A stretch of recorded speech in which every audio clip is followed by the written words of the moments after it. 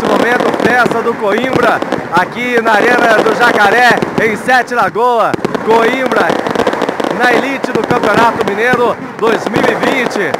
Festa da torcida, festa em Sete Lagoas. A equipe do Coimbra, classificada praticamente, foi para a grande final do módulo 2 do Campeonato Mineiro e conseguiu a tão sonhada vaga para a elite do futebol estadual.